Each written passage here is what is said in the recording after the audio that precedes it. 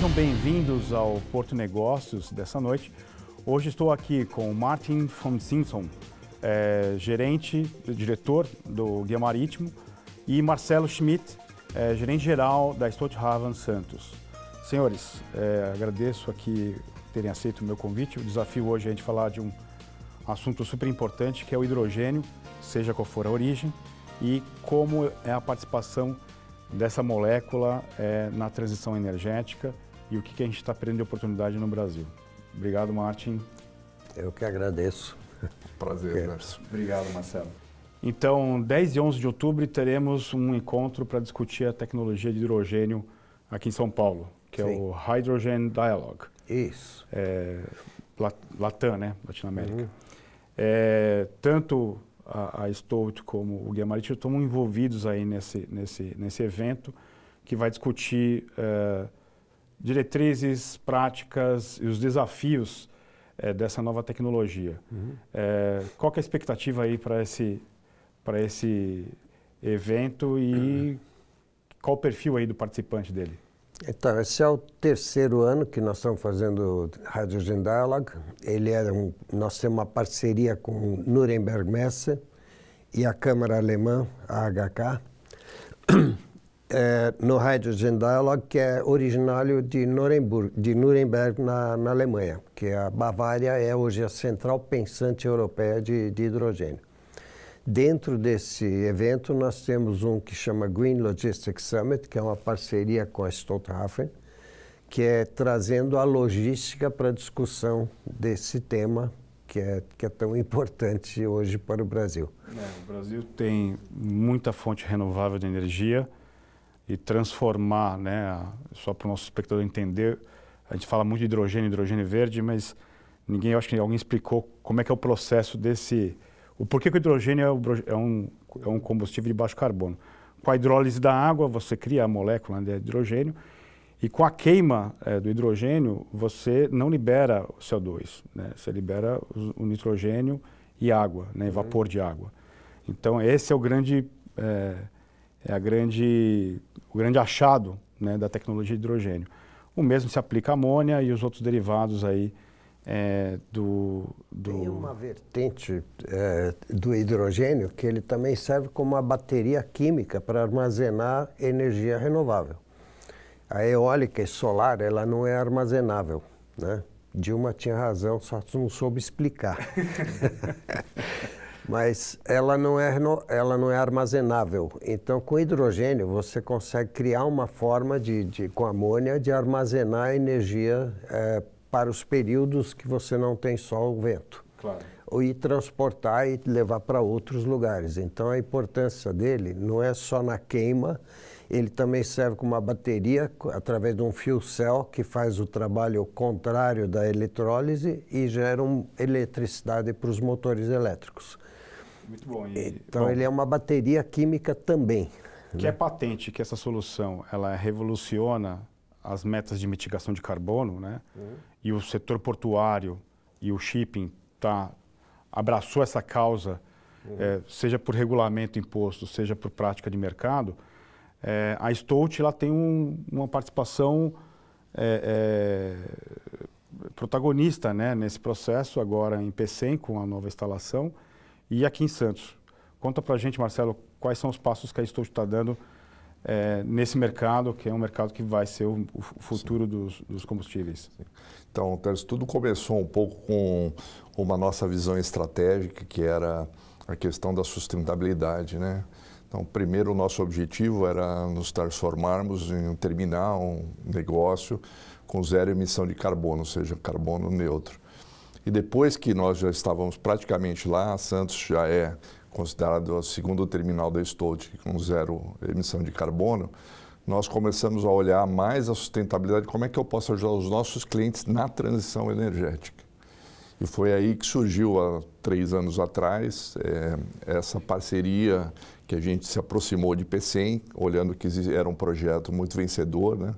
Na medida que Fortaleza tem, e todo o estado do Ceará, um, um projeto muito bacana de uso de energia solar e eólica, né, com, com uma potência bastante grande, uso inclusive da água tratada de Fortaleza para fazer a eletrólise, nós achamos que faltava o elo da logística, né? o elo do, da armazenagem, o elo do, do transporte. E aí você colocou muito bem a questão do hidrogênio, até para os telespectadores entenderem, a amônia, quando nós falamos, ela funciona como um transportador dessa molécula. Porque o hidrogênio em si, para ficar líquido, ou seja, economicamente viável, seria líquido a menos 270 graus, não teria que ter muita pressão para ser líquido a ambiente. Então, o que nós fazemos é que a gente injeta o nitrogênio no hidrogênio, transforma a molécula de amônia e a amônia a menos 28, 27 graus já é líquida. Então, a pressão que você precisa colocar nos tanques para armazenar e transportar acaba sendo economicamente viável. Né? E foi a partir daí, então, que nós nos envolvemos nesse projeto, um projeto pioneiro no mundo todo, em que nós agora, há duas semanas atrás, fomos agraciados como vencedor de um, de um processo competitivo que envolveu cinco grandes players globais para se tornar o terminal de referência em PCM. Né? Então, nós estamos construindo, a princípio, é, tanques que, que, que, são hermeticamente fechados, são tanques muito grandes, 65 mil metros cúbicos cada, e esse, esses tanques eles vão funcionar como um pool de armazenagem para os diferentes produtores é, de energia renovável, no caso do hidrogênio. Porque todo projeto de, de Greenfield, né, ele exige, é, o início é muito complicado até você encontrar claro. uma, uma escala. Então, ter um único operador que oferece um pool de tancagem para todos, em, nas mesmas condições, nas mesmas bases, com o mesmo nível de serviço, viabiliza o projeto. Nós estamos, então, agora nessa fase, agora já de, de saímos de um projeto conceitual, estamos indo para um projeto básico junto com esses produtores de amêndoa. Alguns estão mais avançados, outros menos, né? Mas basicamente vai permitir, daqui a três, quatro anos, já estarmos com toda a estrutura funcionando a serviço desse hub de, de produção de hidrogênio verde. No final, diferentes produtores uh, vão ter as suas, as suas quantidades né, oferecidas e a molécula é a mesma. É a mesma. E aí, obviamente, você, no teu Sim. terminal, você faz essa armazenagem e a distribuição para os clientes finais Sim. destino Europa. Né? É, a gente estava conversando antes do programa, é, a amônia, como você mencionou, né, a diferença de temperatura de armazenamento ela é, é da escala de 10 vezes para o hidrogênio, né? 10 vezes menor a é, maior a temperatura, né? São negativas, mas é, esse é um dos motivos da inviabilidade do transporte do hidrogênio a longas distâncias, né? Uhum. A gente comentou aqui é, da a perda de carga é, da, da, da, amônia, no, do hidrogênio em distâncias daqui até a Europa perderia teria é, uma eficácia de 22% é, de, mesmo com o uso da amônia. Menos com o uso da amônia. Mesmo com o uso da amônia, ela vai chegar com baixa é, eficácia, eficácia energia, né? energética na é, Europa. Só para o nosso espectador entender, o quanto você gasta de energia para transportar versus o quanto que você entrega de energia útil. Tem que transformar em amônia, levar, transportar, armazenar, transportar, transformar em hidrogênio novamente na Europa. Todos esses processos têm perda energética Agora é interessante para o telespectador entender por que, que Pensem está sendo considerado um dos hubs mais competitivos do mundo na produção do hidrogênio verde. Pela posição geográfica? Né? Basicamente, além da questão geográfica, que é uma distância muito curta né, entre Fortaleza, ali, Pecém, até o, a Europa, né, que é uma distância de voo quase seis horas, em vez de 11 horas de São Paulo, tá. você vai para a Europa. Né? É, tem essa questão de que o grid de energia disponível é praticamente 100% verde. Então, a qualificação é, do hidrogênio verde a ser consumido, ele é medido em percentual de grid que você usa para fazer a eletrólise da água. E lá é, vai ser praticamente 100%. Então você vai ter absolutamente um hidrogênio de altíssima qualidade, né, produzido num local geograficamente muito interessante, né, e com a competitividade que a gente acredita que o complexo de IPCM vai ter em termos da produção, em termos do, do, do transporte. Né. Então, a gente tem ouvido isso muito, né, que, que o Brasil, principalmente o Nordeste, está se tornando um grande polo de originação, de exportação de bioenergia. Isso é muito interessante porque a gente vê hoje o agronegócio como uma força muito importante. A gente sempre fala nos produtos mais sólidos, né? É o soja, é o milho, agora o etanol. E agora a gente vê um, outros produtos que estão sendo transformados em energia, como o Martin falou, para que o Brasil possa também exportar essa, essa bioenergia, né? E aí você até perguntou para a gente em Santos, nós já estamos fazendo também uma transformação aqui no nosso terminal em Santos, que já está operando há 42 anos, né? onde já mais de 50% de todos os produtos que a gente armazena já são bioenergias. Ou é o etanol, ou é o óleo de soja, é a matéria-prima para o querosene de aviação é, verde. Né? Então, nós vemos com isso que também é, aquilo que antigamente o Porto era um importador de combustíveis fósseis, ele está se tornando um exportador de bioenergias, com toda a força que o estado de São Paulo, Mato Grosso, Paraná tem e que a área de influência de Santos também tem. Né? E aí a gente vai para o produto líquido, enquanto que a amônia é um gás também de que feito, mas é um líquido que pode ser utilizado. Eu queria pegar esse gancho dos biocombustíveis, né? É, vem discutindo em vários fóruns, né, a importância do, do hidrogênio como uma solução talvez definitiva para a questão da, da mitigação do, do, carbono, né? olhando, obviamente, as metas climáticas né? que cada setor da economia tem aí como com, com desafio. Né? É, o Brasil, é, desde a época do Proálcool, né? eu era criança ainda, é, desenvolveu uma tecnologia do, do, etanol a partir da, da cana-de-açúcar. Né? Depois os Estados Unidos veio com a sua tecnologia a partir do milho, é, e hoje você tem álcools de segunda geração, especiais, enfim. É, a gente é, é discute muito a eficiência, né, é, aplicar cada solução no seu ótimo para cada, cada uso. Né? eu sou um crítico fervoroso aqui do, do, dos veículos elétricos, justamente advogando a favor dos biocombustíveis como uma solução transitória para o Brasil. Né? O Brasil já tem uma matriz limpa, é, e não só para o Brasil, a exportação do etanol, do, do óleo de soja, enfim, para esses fins, né, de, e você mitiga de fato o carbono, é, é um, carbono, é, um, é, um, é um combustível que vem de, de origem é, renovável. É, qual é, na avaliação de vocês, é, o que, que o Brasil está perdendo né, é, com essa oportunidade? primeiro pela questão da eficiência, né, quando você exporta um navio tanker de etanol é, pra, seja para a Europa, seja para a Ásia, para o Japão, é, você está entregando de fato energia com eficiência na outra ponta. Né? É, dos usos mais diversos, né, do transporte de carga sob pneus, do transporte de carga sob trilhos, aos transportes dentro da metrópole, né, que aí já é uma questão não só de carbono, mas de emissões de gases locais, né, de qualidade do ar local. É, na avaliação de vocês, o que, que o Brasil poderia ainda é, olhar para esse mercado e oferecer para o mercado europeu, que é fóssil intensivo, uma solução é, já pronta, né? não esperar aí é, mais 4, 5, 6 anos para emplacar o hidrogênio, que muitas vezes ainda está em escala de laboratório, não em escala industrial. São poucas plantas, eu imagino, que estejam prontas no mundo para a escala industrial. E não vai atender toda a demanda, né? É, o que, que o governo brasileiro pode fazer, o que, que os, o mercado privado pode fazer para, de fato, a gente é, defender aí um, um, um, ativo nacional que é, é o nosso etanol. Posso ir?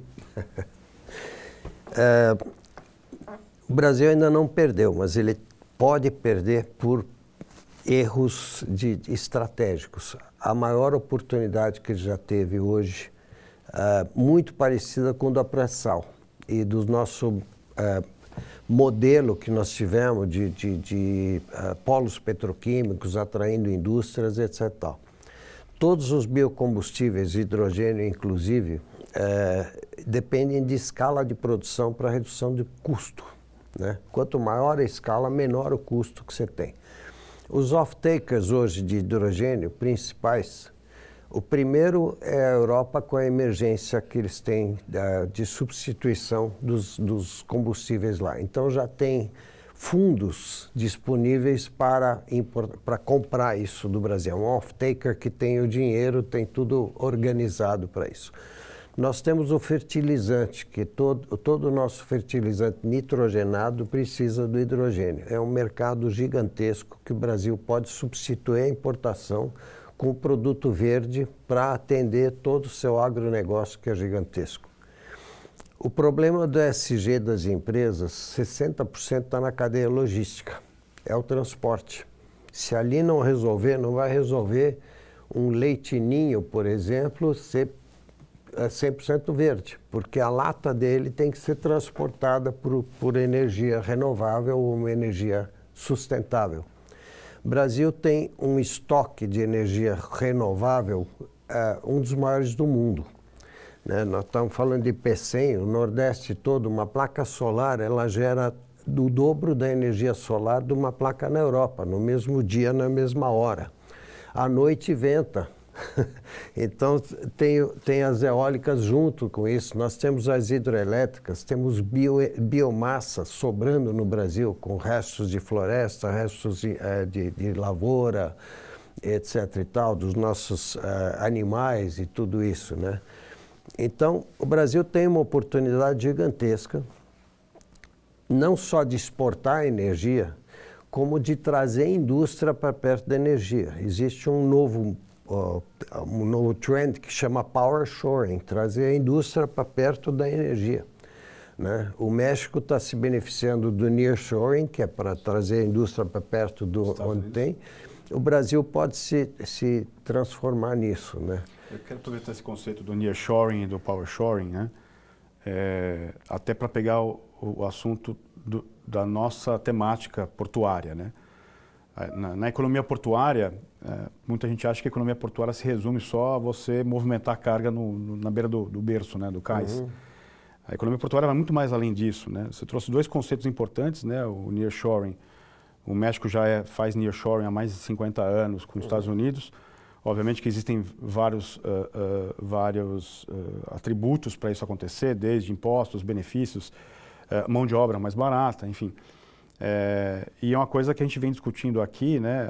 aqui em Santos a gente vem discutindo a instalação da ZPE na área de Santos Continental e um dos principais pontos de estimular a instalação de ZPEs é justamente utilizar essa abundância de energia renovável brasileira e em produzir produtos de baixo carbono que são vendidos numa gôndola, por exemplo, nos Estados Unidos e na Europa. Né? Então, eu tenho lá uma, brincando aqui, brincadeiras à parte, uma sandália havaiana, né, puramente brasileira, sendo produzida com energia renovável, sendo vendida como carbono neutro é, é, numa, numa, numa, numa gôndola de, de, de, de shopping, né, de, de loja. Eu acho que aí, né, Tércio, passa por uma questão importante de se discutir a questão regulatória e de incentivos no, no Brasil. Né? Então, até comentando o PCM, é de fato a primeira ZPE do Brasil e está né? se beneficiando de colocar essa indústria de produção de hidrogênio verde para exportação, para evitar essa miríade de tributos que a gente sabe que existe. A questão que se coloca, que você é, fez, fez justamente essa pergunta, quanto competitivo, como é que a gente pode usar essa, essa energia verde renovável a nosso favor, é, faz parte de uma discussão sobre industrialização e desindustrialização. Né? Então, o hidrogênio verde sozinho ele não consegue competir hoje com, por exemplo, combustível subsidiado da Petrobras, que nós sabemos que hoje é uma prática né, é, desse governo, do governo anterior. Né? Também não consegue, no começo, para poder ter economia de escala, né, sem alguns incentivos. Então a gente vê que, por exemplo, os Estados Unidos já colocou incentivo, Europa colocou incentivo, Austrália colocou incentivo para que as indústrias possam começar a se desenvolver, para que ela possa oferecer, por exemplo, uma indústria química, como o Marty falou, para a indústria de fertilizantes, para a nossa indústria siderúrgica, né, uma energia verde, mas que a preço competitivo. Né? Então, todas as empresas têm, de fato, a pegada de sustentabilidade, mas também elas têm um modelo econômico que tem que ser cumprido. Né? E quando a gente vê que essa energia está sendo, a princípio, né, planejada para se exportar 100% para o mercado europeu por uma emergência climática, mas também por uma questão regulatória. Né? Porque, na, na verdade, esse hidrogênio vai também para siderúrgicas, né? vai também para a indústria de fertilizantes lá Então, por que, que ele não pode vir para cá? Primeiro. Né? Pra, porque hoje você tem uma competição de combustível fóssil, de energia mais barata, que não torna ainda isso atraente. Eu acho que o Brasil, para não perder essa enorme oportunidade de poder crescer a sua indústria com o seu próprio combustível verde, se transformar um grande produtor de produtos verdes, mas não só de energia, né, mas a, a energia transformada em produtos, é fundamental que a gente tenha uma visão mais ampla regulatória e de incentivos. É, é, é, é importante, né, o nosso espectador é, discutir com a gente aqui é, é, esses princípios regulatórios passam por incentivos fiscais, não é investimento puro do governo, mas o governo criar um marco regulatório seguro para que os privados venham e se instalem é, é, nessa lógica, seja do, do power shoring, seja é, inclusive pensando no power shoring com o near shoring, né, comungado, né, porque é mais nós estamos mais próximos aqui dos Estados Unidos e da Europa do que a, do que a China.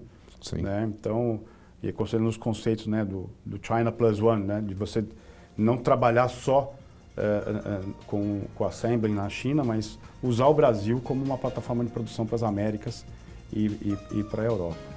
É, vamos fazer um rápido intervalo e a gente volta daqui a pouco para o segundo bloco do Porto Negócios. Fique conosco.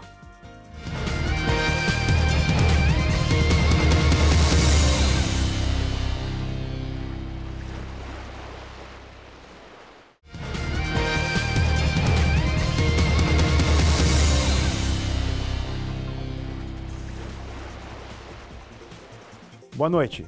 Sejam bem-vindos ao segundo bloco do Porto Negócios dessa noite.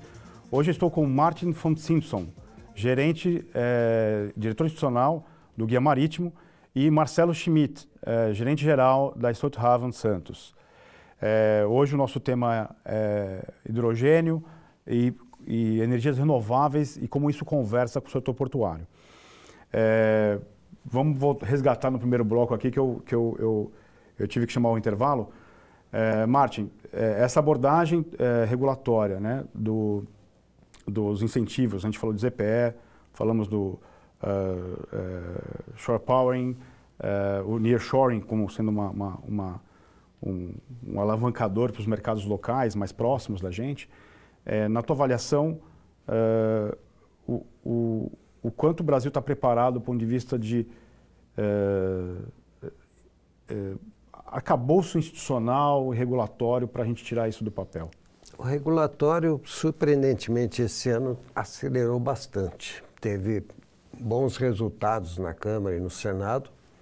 Está é, em vias de ser é, implantado, mas o Brasil tem problemas estruturais que ele precisa urgentemente se organizar, planejar como um todo, né? Nós temos os marcos regulatórios, os incentivos que nós conversamos. É, na opinião da maioria hoje, o incentivo para exportação deverá ser feito pelo importador, pelo país importador, quando se exporta a energia em si. E o incentivo para a indústria nacional deveria ser feito pelo Brasil. E fortes incentivos para se gerar energia renovável para a indústria brasileira num projeto de reindustrialização. Isso vai passar por todos os nossos problemas crônicos, que é de mão de obra, treinamento de mão de obra, é, processo trabalhista, etc. e tal. Tem grandes empresas que deixaram de investir já no Brasil, recentemente, há pouquíssimo tempo, por não encontrar um arcabouço de mão de obra, de todas as, não só a garantia legal do investimento, mas sim todo o resto que precisa ter para isso. Ceará, de novo, PECEM está dando uns exemplos espetaculares, tem um nível de educação diferenciado do Brasil. É, o ITA de lá, o ITA de São José dos Campos, uma das melhores universidades de engenharia, tem hoje 48% das suas vagas por cearenses e vai abrir uma filial lá no Ceará. Né? Isso mostra o interesse do, do Estado do na educação. cearense no, no, Na Bahia, por exemplo, tem o Cimatec, que é do Embrapi, do Senai, é, um, é, um, é, junto com a Federação das Indústrias, governos lá, que é um exemplo incrível de, de tecnologia, de pesquisa e tudo isso. Né? Então, o Brasil tem ilhas de excelência que têm que ser disseminadas para o restante do Brasil e mudar radicalmente a nossa tradicional, toda mudança política muda todo mundo, então teria que ter um programa com continuidade né, e tudo isso para que a gente tenha uma oportunidade de aproveitar o gás natural que nós temos, o mais limpo do mundo, para fazer o custeio dessa transição energética, ele financia esse processo, que não dá para fazer de um dia para outro. Né? Claro. Então, está crescendo o, o volume de consumo de fósseis e, ao mesmo tempo, crescendo o de, de renováveis. E o de renováveis já ultrapassou o de fósseis. Então, essa curva está indo numa forma igual, mas ela deverá cair na dos fósseis. E o Brasil tem aí como financiar, fazer tudo isso. É uma questão política mesmo de uma análise de planejamento a longo prazo, de reindustrialização e de produção da maior fonte energética que tem, de uma das maiores e mais baratas do mundo, que nós temos como fornecer. Inclusive suprimento de navios, aviões, o nosso SAF, que é um dos melhores que tem hoje, etc. E tal. Nós estamos realmente com tudo para funcionar, faltando agora organizar essa casa como um planejamento geral. É, o setor portuário tem uma participação fundamental nessa política de desenvolvimento. Né? Até porque eu entendo que o porto não termina no gate, né, nem na barra do canal. É, você tem aí uma interlocução com a cidade, com as interlândias diretas muito fortes. É o caso do PCM e da instalação é, da infraestrutura da Stout lá no, no, no, exemplo do PCM.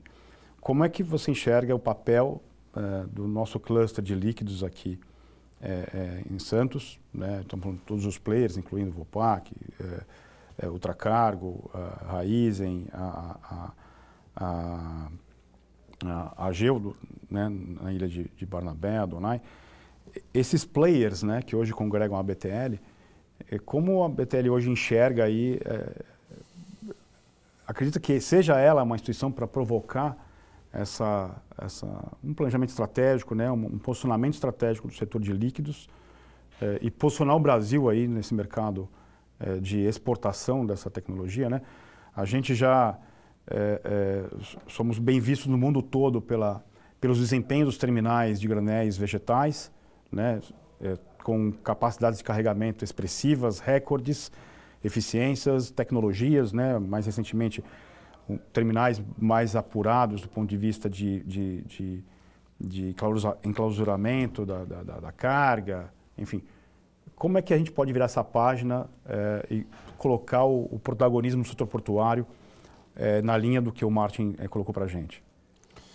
Eu acho, aqui em Santos especificamente, nós temos dois grandes grupos né, fundamentais de, de serviços que são prestados pelo setor de líquidos. O primeiro ainda voltado para a questão dos combustíveis fósseis, é, sabemos que a Petrobras é short no refino de gasolina e de diesel. Consequentemente, é, é fundamental ainda que o Porto de Santos funcione como uma entrada né, de, dessa, dessa parcela né, de produto refinado que a Petrobras não consegue refinar para o país, senão a gente para o setor é, de transporte imediatamente. Né? O outro grupo, é o grupo onde mais a Stout está inserida, são para as especialidades. Então, nós há muito tempo, assim como alguns outros nossos, nossos players, concorrentes, é, fazem a, a parte do abastecimento de químicos, químicos de especialidade para a indústria é, química que está instalada aqui no complexo de Paulínia, aqui na região de São Paulo e no, no entorno. Aí nós já temos uma operação muito mais cadenciada, de just-in-time, mas que a gente vê que, infelizmente, a indústria nos últimos 10 anos tem andado de lado, a indústria química. Né?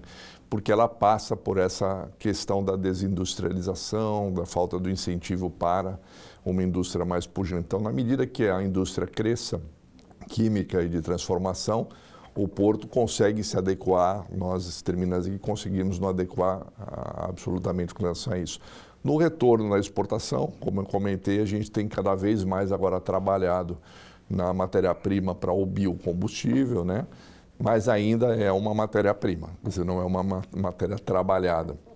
Os terminais hoje já têm tecnologias de começar a fazer misturas, fazerem operações que seria já quase uma semi-industrialização, que seria possível desde que a gente consiga ter essa demanda mais é, esclarecida, mais, mais, mais consolidada. Então, acho que passa um pouco por aí a, a gente conseguir crescer. O Porto Santos também tem um gargalo, que é um gargalo na margem é, direita, que o, os piers são, na verdade, públicos. Então, nós carecemos já de um crescimento na quantidade de piers existentes por parte da autoridade portuária, por parte do Ministério de Infraestrutura. Esperamos que a gente consiga ter boas notícias esse ano nesse sentido.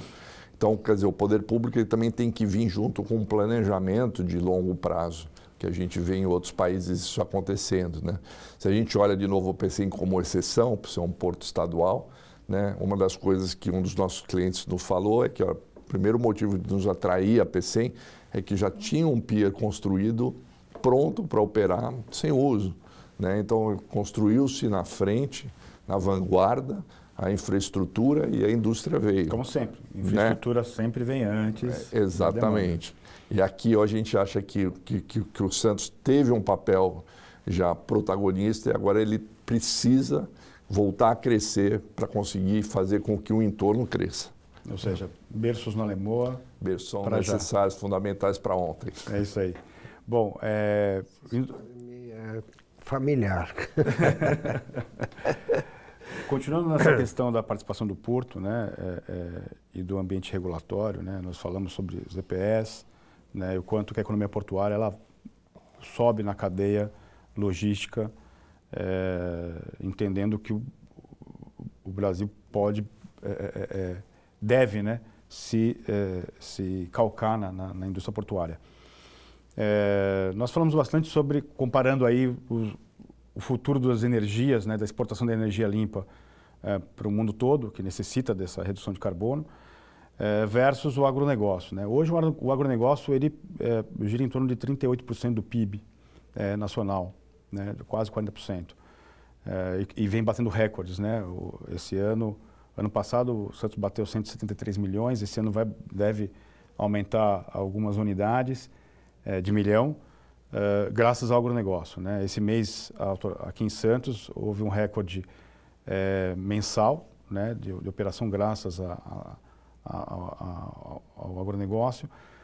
É, vocês enxergam que a, dependência do mundo numa energia de baixo carbono, né, ou de carbono neutro, ser mais específico, torna essa energia, seja ela na molécula de hidrogênio, na molécula de amônia uh, ou em alguma outra uh, uh, forma, uma nova commodity a ponto de precificar em bolsa, a, a ponto de a gente trabalhar com o hidrogênio cotado como é o petróleo cotado? Ou é... Eu tenho absoluta certeza que sim. nós estamos falando no final em descarbonização. Né? Então aí entra energia, entra inteligência artificial, na, na é, logística integrada, você tem um monte de, de, de, de, novas maneiras de economizar energia, etc. e tal.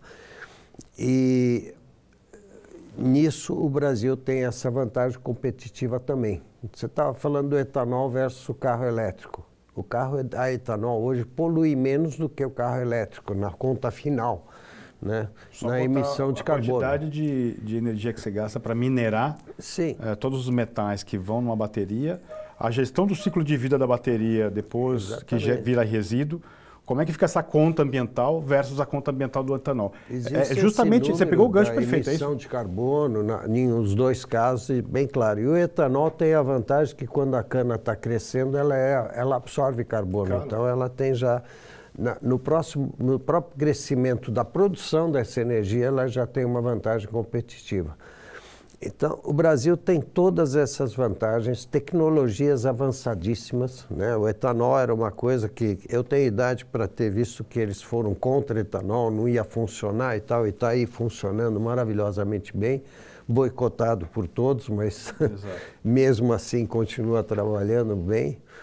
É, nós estamos na mesma situação. Eu acho que o brasileiro precisa começar a entender o potencial que ele tem na mão hoje de melhoria de qualidade de vida de todo cidadão brasileiro em função da energia que está sendo gerada e, e, o que isso vai trazer para o país. Né? Esse tema Pode, pode continuar. em questão de portos, por exemplo, você tem todo esse abastecimento de energia para os navios enquanto eles estão parados aqui. Né? O Brasil tem essa condição magnífica também. Né? Nós temos um grid de distribuição de eletricidade que você pode gerar essa energia na Bahia e consumir em Santos. Então, metro quadrado do terreno de duna da Bahia é, é, muito mais barato do que um metro quadrado a dólar pesado aqui de Santos para fazer uma energia solar. Nós temos todas essas vantagens. E nesse produto que nós temos no Green Chain, nós temos lá, é geo, georreferenciado com todos os dados, nós temos todas as eólicas e tudo isso, e as simulações que nós fazemos através de, de, de, de, uh, de inteligência artificial, realmente com, com, com uh, todos os instrumentos que tem de blockchain de, de, de, e tudo, nós conseguimos simular isso maravilhosamente bem, ter uma visão assim muito cristalina disso, né? Então estamos com quase 100 indicadores econômicos lá dentro fazendo esse cruzamento de dados. E, e é espantoso que o Brasil tem de, de capacidade de fazer isso. Só Bom, que falta transparência em todos os dados, como o Marcelo está falando. Né? Stout está em bioenergéticos há muito tempo. No Proálcool foi um dos grandes exportadores. Sim, continua sendo exportador de, de álcool. Né? Então, o... são, são tradições que nós já temos. Uma, é. né, uma, uma, síntese aqui, nós temos é, energia é, solar, eólica, água em abundância, terra em abundância. Uh, temos capilaridade no nosso sistema de transmissão elétrica. Temos uma rede de portos bem abastecida para uma costa como a brasileira. todos os elementos para o Brasil colocar isso de forma estratégica, inclusive de, do ponto de vista geopolítico. Né? A gente fala muito assim, qual que é a participação do Brasil é, nessa nova ordem é, é, mundial. Né? A gente fala muito da, da China, principalmente aqui, a gente já discutiu no Porto Negócio várias vezes a questão da guerra da... Política, né? Segurança e geopolítica. Né? a pandemia, a, o conflito da Ucrânia, agora mais recentemente Israel e, e, e, e a Palestina. como é que é o papel do Brasil, sendo o maior fornecedor né, de, da cadeia de alimento hoje do mundo, né? a gente pode botar vários aqui, exemplos, né? do suco laranja, a proteína animal, a, a, soja, o milho, enfim, né? e outros produtos agrícolas, né? É, ser um grande, uma grande potência do fornecimento da energia eh, renovável, a energia de baixo carbono, carbono neutro, é, só falta dar aqui um brinquedo, daqueles brinquedos de criança, né? Coloque o quadrado, né? o, o cubo no quadrado, o cilindro uhum. no círculo para mostrar que o Brasil tem todas as ferramentas para ser uma potência geopolítica, uhum. né? E aí necessita de fato de uma coordenação e um planejamento claro, né? De como é que a gente senta numa mesa de negociação no G20, como é que a gente senta numa mesa de negociação, a COP está vindo para o Brasil, Exatamente. é, é temos tudo para virar essa página uhum. é, é, e ter um, um, um, posicionamento expressivo aí e, e estratégia diplomática, inclusive, né? Mas enfim, é, vamos fazer um rápido intervalo e a gente volta no último bloco é, com mais Porto Negócios.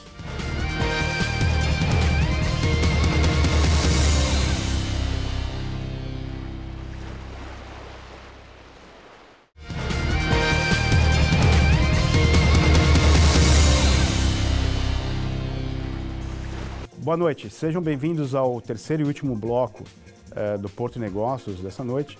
Hoje estou com o Marty von Simpson, é, diretor institucional do Guia Marítimo, e é, Marcelo Schmidt, gerente-geral da Stolthaven Santos. o programa extremamente rico, falando sobre energia, hidrogênio e a participação do setor portuário nesse processo. Eu queria abordar mais, falar mais sobre o, sobre o, o seminário do dia 10 e 11 de outubro, né? É, vou até pedir para a produção colocar aqui no, no, na tela o site, enfim, as informações do, okay. do, do, programa. É, a gente terminou o último bloco falando da, da, da importância do, do, do, de como o Brasil pode se posicionar estrategicamente é, com essa nova commodity energética, né? É, em mundos de, de extremos climáticos. É, hoje o, o Guia Marítimo e Stout estão nessa organização é, do evento do dia 10 e 11 para falar sobre essa, essa importante, mais do que tecnologia, né, política pública é, para o Brasil, né, dado que a gente já mencionou até agora. É, como é que vocês acham que o mercado pode interagir é, e o que precisa, né, na verdade, hoje, é, do setor portuário e do setor industrial para ligar essas, esses elos da cadeia logística, para ligar esses elos da cadeia dos stakeholders mesmo, uhum. é, na concretização né, dessa tecnologia de baixo carbono. Então, no Hydrogen Dialogue, a gente está. Nuremberg Mess é uma das maiores empresas de eventos do mundo, né? E nós estamos fazendo justamente esse matchmaking entre os players todos que tem. E aí veio a parceria com a Stout, por exemplo, para a área de logística. É, esse ano, no ano passado, nós tivemos uma missão para o Ceará e depois o evento em São Paulo. Esse ano a missão virá da Bavária, com o ministro da Bavária e tudo isso, vem uma missão de empresários e políticos alemães para a Bahia, no Cimatec lá e com o governo da Bahia para conhecer, porque ali existem parcerias já entre Fraunhofer, na GIZ, com a Senai, com o Embrapi no Brasil. É um exemplo então vai ter essa missão para o Nordeste, para a Bahia, esse ano, e depois a, a conclusão aqui em São Paulo. Em dezembro, nós temos o Hydrogen Dialogue na Europa, onde nós vamos levar uma missão do Brasil para lá. Então, nós sempre fazemos essa interação grande. E, por uma ideia brilhante do Marcelo aqui, nós temos o Green, Green Logistics Summit, que eh, ele foca muito num, num segmento que nós temos especialização e que achamos que é crucial em toda essa discussão. Então, parte vai ser como transportar essa amônia para o mundo, como armazenar, e a outra parte, quais são os usos de energia para transporte rodoviário, ferroviário, o marítimo e o aéreo. Nós vamos ter pessoal lá de navegação, da, da empresa aérea, os produtores e tudo isso num debate bastante rico sobre toda essa, essa dinâmica aqui. O que a gente também espera, né, Tércio, com esse encontro, né, que já está indo para o terceiro encontro, é que a gente vai sensibilizando também diferentes eh, classes de negócios, setores produtivos. Por exemplo, hoje eletrolisadores são, são produzidos fora do Brasil. A ThyssenKrupp, por exemplo, é um produtor desse equipamento, tem fábricas aqui e já, já se prontificou em começar a tentar trazer uma linha de produção para produzir aqui dentro.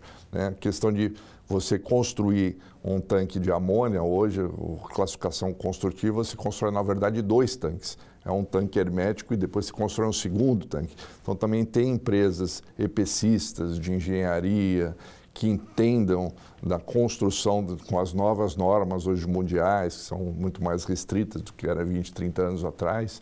É fundamental que a gente tenha também um grupo de empresas que possam oferecer isso isso para a gente. E assim vai, né? A própria cadeia, por exemplo, de regulação, nós sabemos que o hidrogênio verde, por enquanto, está sob o guarda-chuva da ANP, Agência Nacional de Petróleo. Então, quão importante é que esses técnicos da ANP que, por décadas, né, regularam a armazenagem líquida de derivados de petróleo, vão precisar agora aprender a regular a armazenagem né, de amônia, que é um gás liquefeito e verde. Então, quer dizer, há mudanças aí de paradigmas importantes e que a gente precisa que todo esse setor, eu sempre falo que é um ecossistema, né, esteja disponível para que efetivamente o setor produtivo possa ser competitivo, né, que a gente tenha realmente materiais, regulação, pessoas né, e equipamentos a serviço desse novo produto, que é efetivamente nós deveremos ser um dos primeiros terminais de amônia verde do mundo portuários de exportação. Né? Então, estamos com um pioneirismo aí. Então, esses eventos permitem que a gente sensibilize também essas comunidades de negócio, bastante principalmente a gente sabe, por exemplo, São Paulo tem a maior quantidade de empresas alemãs do mundo. Né? Sim. 500, 500 empresas só em São Paulo. Não tem nenhuma é. cidade na Alemanha que tenha 500 empresas, como a gente tem em São Paulo. Então, quer dizer, você tem um, um grupo de empresas interessadas também em fazer é, investimentos aqui e com, conseguir sensibilizar e até edu, educar. Né? Porque tudo isso que a gente falou aqui no programa também não é só novidade para os telespectadores, para muita gente aprendendo com, como é que é essa cadeia de hidrogênio verde, por que, que eu tenho que ir para amônia, quais são as questões relativas à amônia, assim por diante, como é que eu transporto, como é que eu armazeno, né? Então, um programa da, do, do Hydrogen Dialogue na área de Green Logistics também é isso, é como é que a gente cria um ambiente de conhecimento e desenvolvimento na logística verde. São todos os seus desdobramentos por aí. Então, vai e, ser muito legal. E o que é legal disso tudo, é, olhando para o nosso mercado portuário e marítimo, né, é a necessidade constante de capacitação de mão de obra para atender toda essa cadeia, né, e em todos os níveis, né, de quem está ali no chão de fábrica, na montagem de um de um tanque, na manutenção, né, na, na no fase de operação, é, isso onshore, né, no, no caso da, da, das EPS, na área industrial, como na operação direta de abastecimento dos navios né, e operação do navio e inclusive a formação de inteligência é, é, na operação disso. Né? Eu, eu, fico aqui é, super motivado e, e, e fico feliz do Brasil ser protagonista nesse processo. Né? Já mando uma saudação para os nossos colegas do PCEM ali.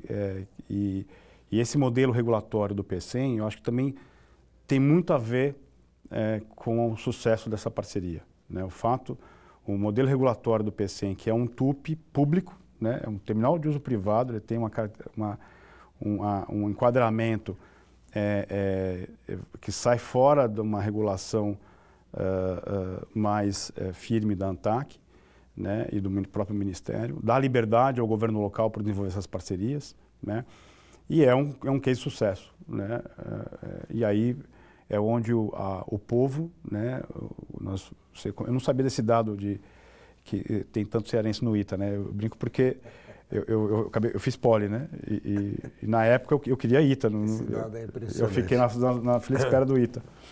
É, enfim. Somos dois. é. Caindo. É, somos navais, né? É. Politécnicos navais. É, com muito orgulho. E, e, e, e a necessidade da, da, da, do envolvimento da comunidade local né? como é no mundo todo. Né? O porto tem uma relação muito simbiótica com o povo local. Né? A relação porto-cidade não é só a cidade com o porto, é o povo, né? a cultura local, a indústria, toda a economia com o porto. Mas, né? como disse o Marcelo, tem todo um problema de educação, de, de visão futura. Né? É. Eu me lembro o Guia Marítimo, quando começou a discussão da privatização portuária, é, o objetivo era viabilizar a cabotagem, porque sem ela não teria cabotagem, hoje não teria feeder service no Brasil, sim, etc. Sim. Mas a gente nem mencionava isso porque era uma, é uma consequência disso. Na transição energética hoje, nós estamos transformando o Brasil num país com uma capacidade industrial muito competitiva no mundo e, e, não é fácil porque tem outros competidores muito fortes aí, Sim. com muito dinheiro né, é, que o Brasil tem que se adaptar e mostrar o que ele pode fazer com os poucos recursos que a gente conta hoje, mas tem que ter uma visão de futuro muito grande, um planejamento, que é o caso aí de um pioneirismo de um, de um terminal desse em PCM. Você tem razão, o PCM tem uma liberdade de ação claro. muito maior que os outros portos. É, ele, ele é um modelo de negócio, inclusive, que eu acho que poderia bem. ser repetido em outros estados. Né? E vale mencionar, né, Tércio, para os telespectadores que PCM, sendo porto estadual, teve a, a permissão de ter 30% do, do capital hoje pertencente ao Porto de Rotterdam. E eu sou testemunha de acompanhar o profissionalismo né, de todo esse projeto, a forma como eles interagem entre o governo do Estado e o Porto de Rotterdam é fantástica. É. Né? Então, eles conseguem efetivamente trazer justamente essa aceleração de conhecimento que vem da, da Holanda para o Porto do Ceará, e o Porto do Ceará consegue, através do Estado, dar a segurança também jurídica e regulatória que é necessário para nós estarmos como investidores. Então, foi é. fundamental esse modelo para a gente E os técnicos estão lá, né? Eu, mando um abraço aqui para a Rebeca, a Rebeca é VP lá financeira, e eu fiz o curso com ela em Antuérpia um bom tempo atrás. Né? São as pessoas que fazem isso, essa diferença, né? Bom, nosso tempo está esgotadíssimo, quero deixar aqui para vocês as considerações finais e agradecer mais uma vez é, ter vindo de tão longe aqui para Santos para a gente fazer esse programa. Tércio, obrigado. Foi sempre um prazer a gente estar aqui poder esclarecer seus telespectadores e audiência. A gente convida a todos a participarem do evento do Hydrogen Dialogue. Como a gente falou, é um processo educacional. Também nós da Stout estamos sendo abertos. E dizer que, de fato, é, esse tema, esse projeto para nós é, traz um propósito né? o propósito de você estar ajudando de fato a transição energética, ajudando o país, a gente acreditando que é um projeto que, que alavanca o Brasil como grande potência de originação de, de hidrogênio verde e dos outros tipos de, de energias renováveis. Muito obrigado. Eu que agradeço. Martin. Muito obrigado, Tess, pela oportunidade aqui. E realmente acho que é, convido a todos participarem lá. Vamos continuar esse papo Não, no Hydrogen Dialogue. É isso aí, né? o negócio estará lá. Ou é... então na Alemanha em dezembro, quando a gente for para lá, porque nós temos que levar essa informação toda do Brasil para fora. Essa é uma e... outra coisa que o brasileiro não sabe ainda fazer, é. se vender lá fora. Se vender e com maturidade. Né? Com maturidade. Exatamente. Bom, eu quero agradecer a você é, que nos acompanhou até agora e espero você na próxima quinta-feira, nesse mesmo horário aqui no Porto Negócios.